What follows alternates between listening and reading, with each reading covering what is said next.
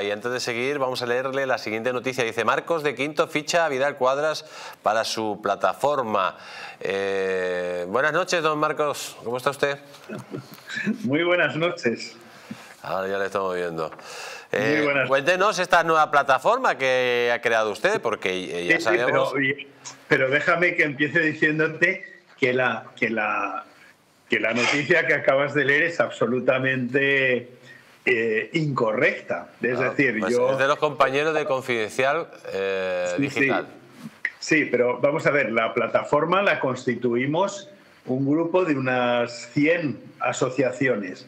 Todos estamos, y Alejo y yo, igual que muchos otros, estamos en, en el comité que la ha impulsado pero yo no ficho a Alejo, igual que Alejo no me ficha a mí, todos estamos de igual a igual. Y, bueno, mm, el, medio que lo ha comentado, eh, yo, le, yo le he dicho, oye, por favor, corregir eso. Que, que, no es, que no es correcto. Yo no estoy fichando a Alejo, yo soy un promotor de esa plataforma, un promotor más. Y me contesta ese medio, no voy a decir el nombre, me dice, hola Marcos, sí, en el texto de la noticia lo explicábamos. Habíamos elegido esta expresión porque tiene más gancho, pero no hay problema. Lo comento a ver si se puede modificar. Es decir, eso de que yo he fichado a Alejo Vidal Cuadras, eso absolutamente una invención para ver si tenía más gancho la noticia. En fin. Pues, pues, pues, ha tenido gancho porque ha llamado nuestra atención. Sí, sí, sí, pues eso ya te digo. Alejo y yo, aparte, primero somos compañeros los dos en pie pared.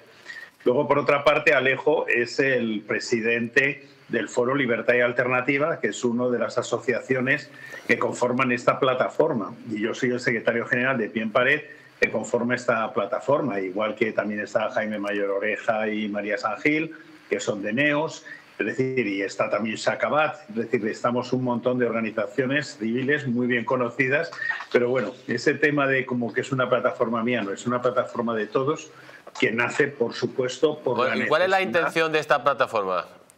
Sí, pues exactamente esta plataforma nace por la necesidad de coordinar a todas las asociaciones civiles de cara a todas las actuaciones que queremos eh, implantar en la calle en el futuro inmediato, dado la deriva que está tomando pues, eh, el gobierno y el riesgo que existe para nuestra democracia.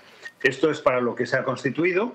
Eh, nosotros en estos momentos tenemos un montón de, actuaciones que estamos eh, preparando, que pueden ir desde concentraciones en distintas capitales de provincia, por ejemplo, en apoyo del, Poder Judicial frente a las delegaciones provinciales eh, del, Poder Judicial, como macromanifestaciones, como ya hemos hecho en otras ocasiones en, Cibeles, eh, hemos hecho tres macromanifestaciones, yo creo que un absoluto y rotundo éxito, pero no solamente eso, también pues el hecho de poder eh, denunciar ante los tribunales eh, aquellas cosas que creamos eh, que deben de ser denunciadas, así también como personarnos como acusación civil en otras causas. Es decir, esta plataforma va a coordinar en nombre de todas estas asociaciones eh, esos actos. De hecho, eh, ayer ya enviamos unas cartas al presidente del Gobierno, a la presidente del Congreso de los Diputados y al presidente del Senado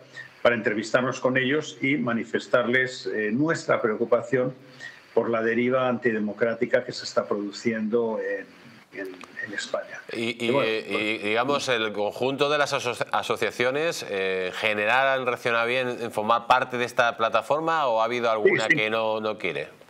No, en estos momentos las, las, las asociaciones, las, las, más importantes, con las cuales llevábamos operando también desde hace ya tiempo, pues están ahí todas escritas. Y según hablo, hay otras que probablemente se están en estos momentos eh, incorporando a esta plataforma.